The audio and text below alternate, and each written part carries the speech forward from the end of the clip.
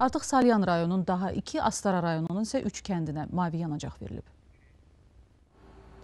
Salyan rayonunun Təzəkənd və Comuşlu kəndlərinə mavi yanacaq verilməsi sakinlər üçün Novruz bayramı ərəfəsində yaxşı hədiyyə olub.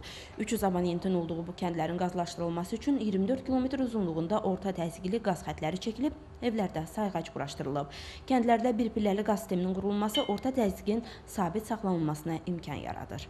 25 il idi ki, qaz kənddə qaz yox idi.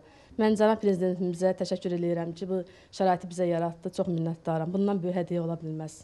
Kəndlərə mavi yanacaq verilməsi münasibəti ilə keçirilən mərasimlərdə çıxış edən rayon icra hakimiyyətinin başçısı Tahir Kərimov son bir il ərzində Salyan şəhərinin qaz sisteminin yenidən qurulduğunu, 11 kənddə qaz sisteminin bərpa olunduğunu bildirib. Görülən işlər nəticəsində daha 4100 abonent mavi yanacaqla təmin edilib ki, bu da 30 minə yaxın əhali deməkdir. Hazırda bir qəsəbə və iki kəndə qaz xətləri çəkilir. İlin sonuna kimi rayon əhalisinin təxminən 90%-i mavi yanacaqdan istifadə edə biləcək.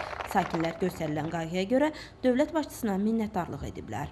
Bütün evlərdə indi qaz e, əməl başlı yanacaq. Bu da xalqın güzəranın yaxşılaşmasının, sosial mədəni məişət şəraitinin yaxşılaşması deməkdir.